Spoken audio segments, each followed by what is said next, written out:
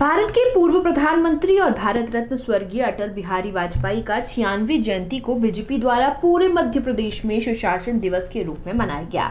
इसी के तहत इंदौर में भी कई स्थानों पर अटल बिहारी वाजपेयी की जयंती पर कार्यक्रम का आयोजन किए गए। मध्य प्रदेश में हर वर्ष की तरह इस वर्ष भी पूर्व प्रधानमंत्री और भारत रत्न स्वर्गीय अटल बिहारी वाजपेयी की जयंती को सुशासन दिवस के रूप में मनाया गया। इंदौर के भी कई वार्डो में जयंती के उपलक्ष्य में अटल बिहारी वाजपेयी को याद किया गया।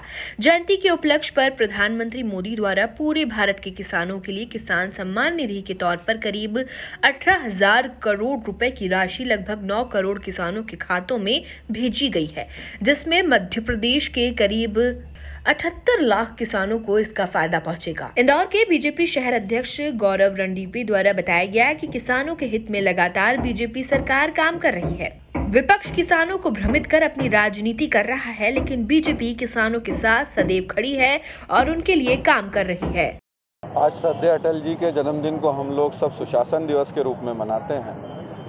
और आज देश के, मध्य प्रदेश के किसानों के लिए बड़ा गौरव और गर्व का विषय है कि पीएम किसान सम्मान निधि के तहत अठारह हज़ार करोड़ रुपए से अधिक, लगभग लगभग नौ करोड़ किसानों के खाते में सीधे आज माननीय प्रधानमंत्री, हमारे देश के यशस्वी प्रधानमंत्री नरेंद्र मोदी जी ने ट्रांसफ़र किए हैं। हमारे मध्य प्रदेश में भी लगभग लगभग इठहत्तर लाख लोगों को इसका फ़ायदा मिलेगा। और मुझे लगता है ये केंद्र की, भारतीय जनता पार्टी की सरकार किसानों के प्रति कितनी सजग है, उनकी कितनी चिंता करती है, उनके लिए उनकी क्या योजनाएँ ये इसका एक जीता जागता प्रमाण है।